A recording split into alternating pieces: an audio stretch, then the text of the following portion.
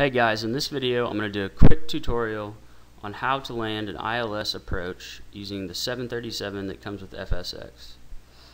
Um, right now we are 12 miles north of DFW Airport. Um, we are going to land ILS runway 17 right. And to execute an ILS approach, you're going to want to do a few things to set it up. So we'll go ahead and get started.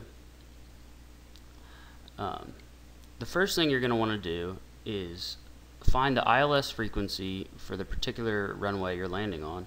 Um, you can do this uh, a couple different ways.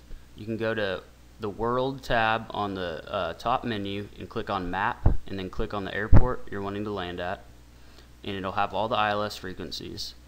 Or you can go under your GPS and uh, click on Procedures and find the ILS frequency for the particular runway you're landing on.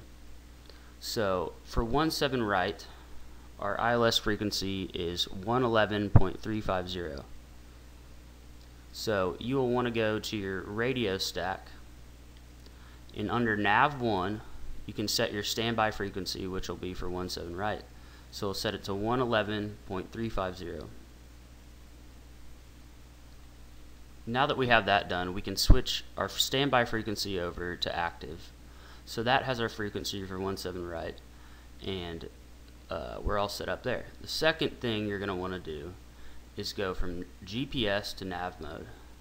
Um, when you click nav mode, it allows the plane to fly an autopilot, uh, fly an autopilot approach using the um, ILS frequency uh, and glide slope.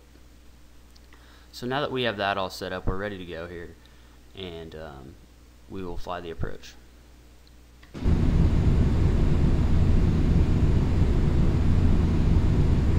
So as you can see on our map here, we are 13 nautical miles out of runway 17 right at 2,500 feet. We're using ATC, it'll guide you in on the ILS approach, uh, and it will bring you down to the flight level that will you can intercept the uh, glide slope. And quick note here, if you're too high, uh, you won't intercept the glide slope and you will uh, fail your approach.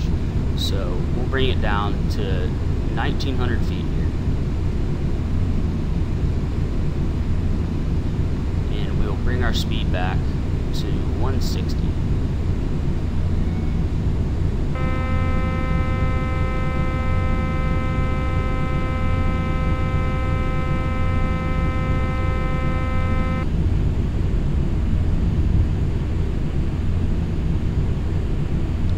Okay, so now we are uh, out of 2,000 for 1,900 here. So we can go ahead and activate nav1 by pressing the center button.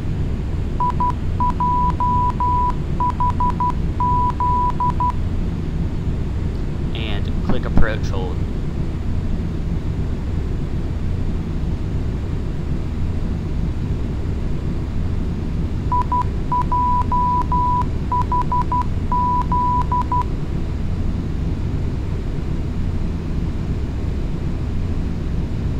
Now the aircraft is tracking the uh, ILS frequency and gathering information to line us up and get us on the right height. And on your PFD here, you can see this bottom reticle indicates your alignment with the runway, and the right reticle indicates your height um, in comparison to the glide slope.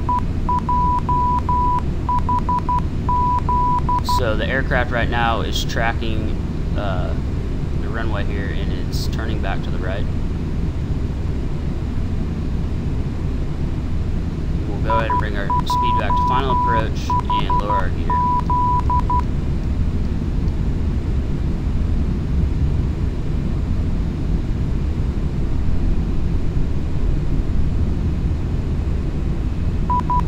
As you can notice here, the reticle on the right is coming down. That means we've captured the glide slope and we're on track.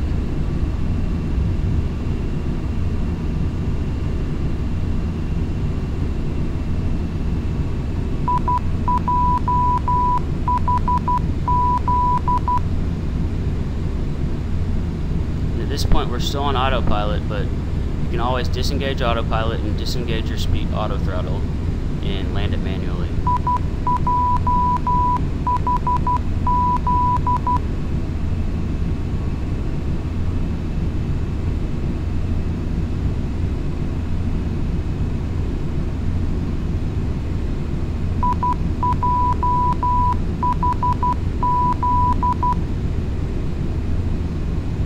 I usually disengage autopilot at minimums here, so once we get around uh, 300 feet, I'll disengage and land the plane automatically. So we're lined up and pretty good on height, maybe a little bit low.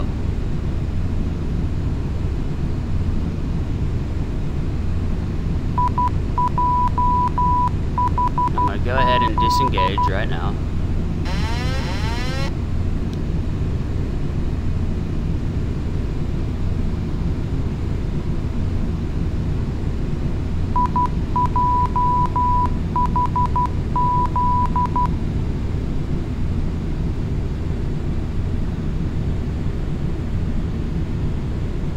Don't sink. Don't sink. Don't sink.